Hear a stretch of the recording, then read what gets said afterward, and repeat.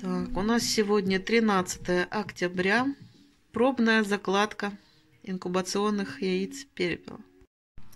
Прошли первые сутки инкубации. Будем уменьшать температуру. На, на 38 градусах яйцо прогрелось. И дальше нам нужна температура меньше. Мы ставим температуру 37,8. Этого будет достаточно. День номер два. Автоматически выставилась влажность 61. Сегодня у нас второй день инкубации. Температура держится 37,8, а влажность, вот как мы видим на табло, у нас упала. Поэтому я буду сейчас доливать воду. Скорее всего, вода быстро испаряется, потому что там тепло. И надо контролировать, чтобы влажность не опускалась ниже 60%. А сейчас вот 45%. Сейчас я долью воду, и мы посмотрим, насколько поднимется влажность. Сегодня уже четвертый день инкубации. Вот четвертый день. Температура 37,8. Поворот будет через 24 минутки. Но мы видим, что влажность падает. Поэтому приходится подливать воду утром и вечером понемножку для поддержания влажности на уровне 60%. Сегодня четвертый день инкубации. Только что подливала воду, что, потому что уровень влажности упал до 44%. И вот сейчас можно увидеть, что влажность начала подниматься. Немножко упала температура, тоже набирает. Тоже до 37,3 набралась температура. Влажность уже 59, четвертый день. И через 21 минуту будет переворот яиц.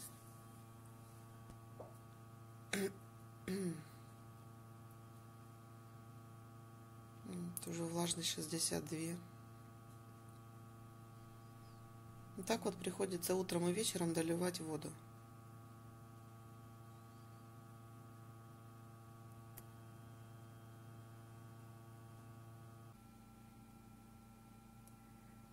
Сегодня уже 13 день инкубации. И с 12 дня мы уже открыли вентиляцию. Также второй день стоит температура 37,6.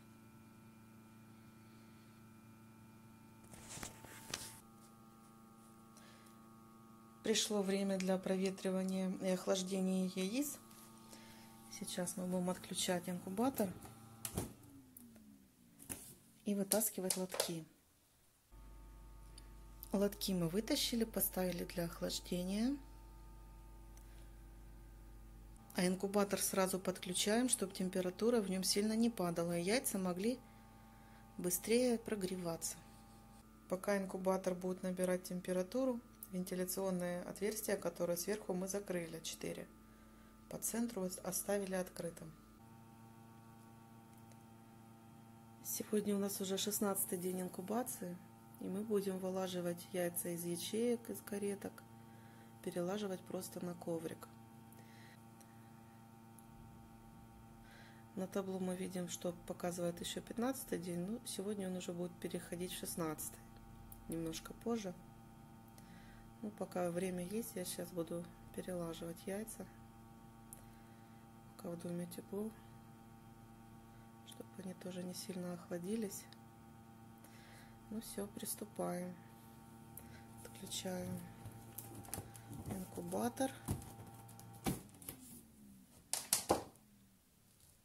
И вытаскиваем яйца.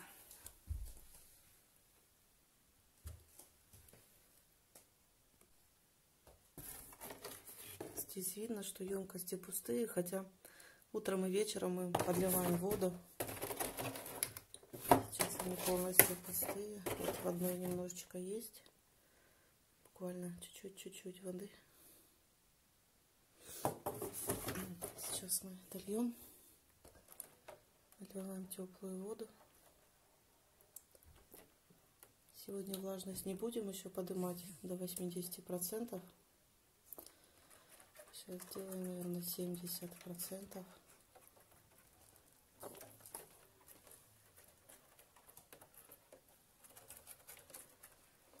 Немножко повысим. Потом в коврике есть там дырочки, будем подливать.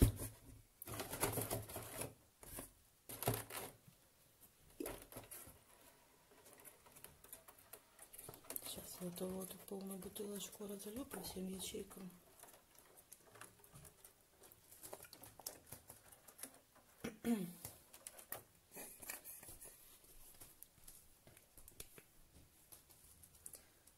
Все, воду мы налили. Сейчас будем укладывать коврик.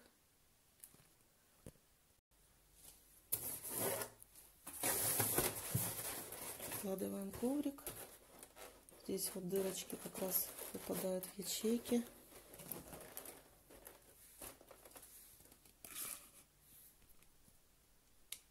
И будем осторожно выкладывать все яйца.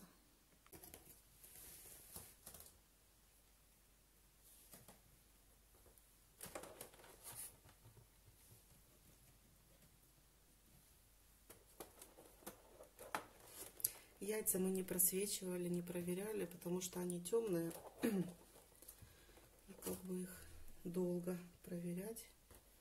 Нужен хороший воскоп. Мы обычно, когда инкубировали, проверяли на фильмоскопе.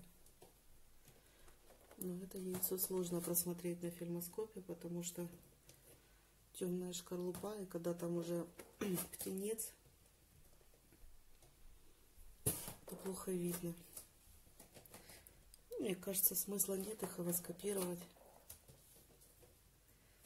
Сколько вылупится, столько и вылупится.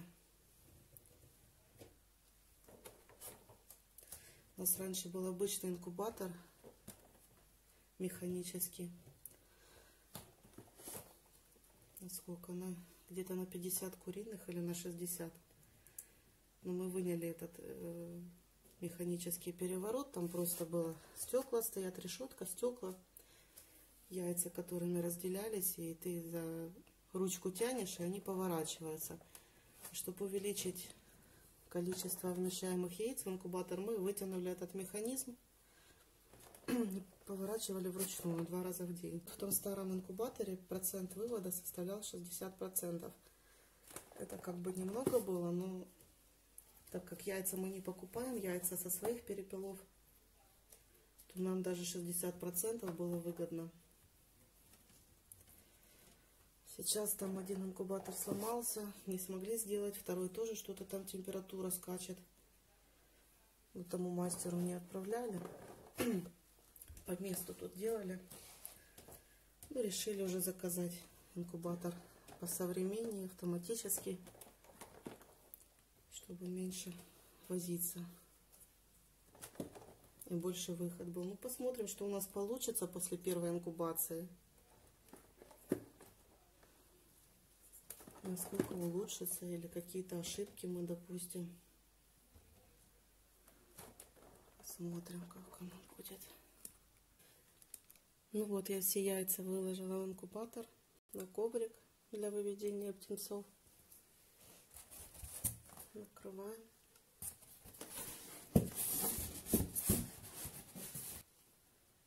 И подключаем.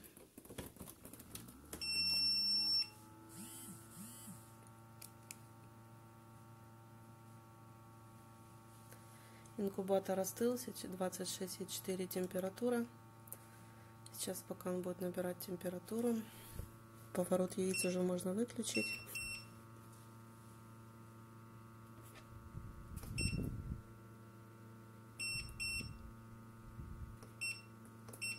Все, выключили поворот, потому что мы каретки убрали. Хочу уменьшить температуру для выведения, выставить, наверное, на 1-2 на градуса меньше. Сейчас у нас стоит 37,5, поставим 37,3. Потому что здесь в инструкции написана температура наклева и вылупления. То есть температура для выведения 37,2.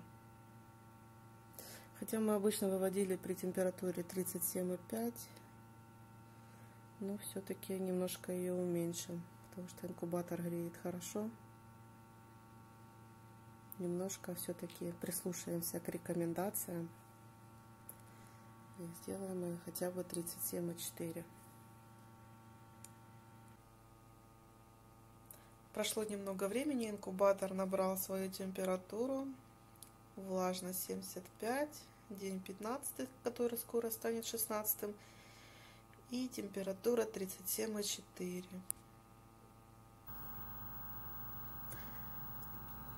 Ну вот, 16 день. Сегодня с вами мы переложили яйца из кареток на коврик.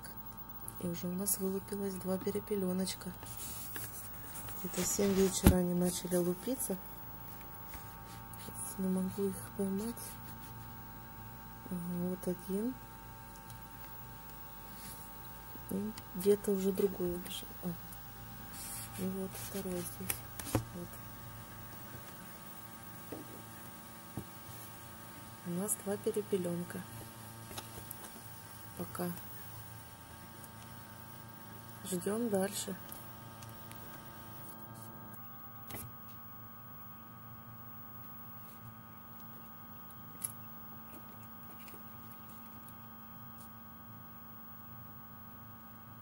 Вот так выводится перепеляток. Их уже больше.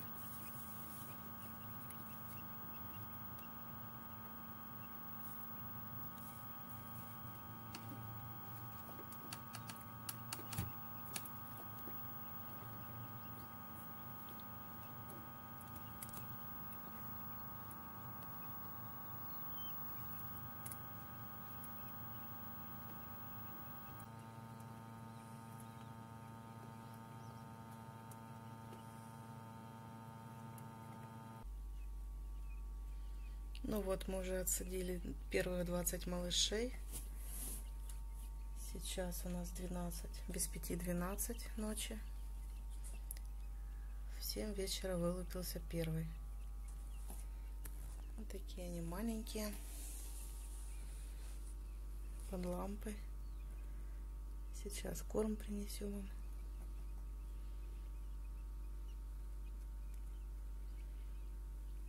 будет уже обсыхать под лампой.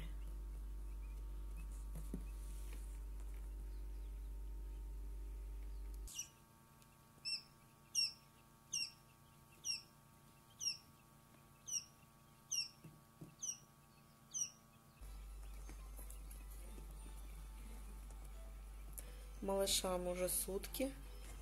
Пришлось их разделить на два ящика потому что в одном было тесно, завтра их будем переводить в манеж. Так, они под лампой греются, кушают, водичка там у них, правда, разлилась немножко мокро, ничего. Они в тепле, все хорошо растут. Сегодня в воду добавили антибиотик, потом пойдут витаминки, пропоечка такая. А здесь вторые у нас загорают. Вторая часть малышей, карандашей. Лапки вытянули.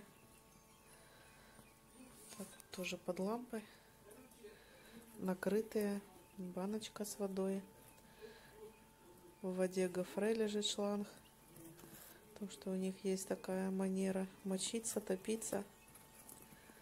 Лучше что-то ложить в поилку. Перепелятам вторые сутки, сейчас их будем уже переселять в сарай. Там мы приготовили манеж, включили лампочку, прогрели манеж, будут они переезжать. Накрываем ящик покрывалом, чтобы было тепло, потому что на улице плюс 3 градуса. И идем в сарай. Такой манеж мы сделали. Накрыли все тканью утеплили. Здесь лампочка.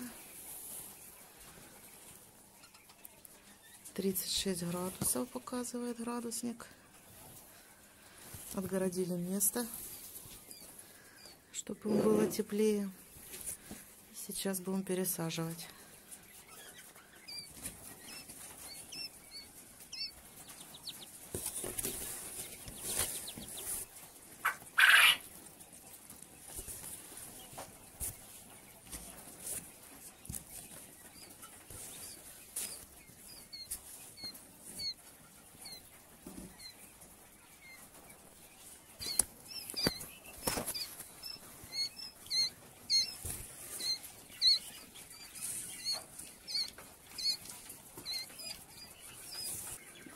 Вот, пересадили перепелят.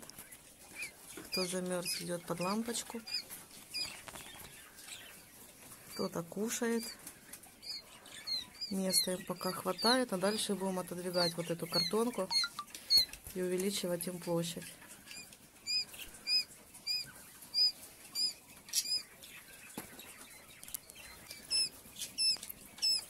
Поставила им две баночки с водичкой. Уже пьют воду.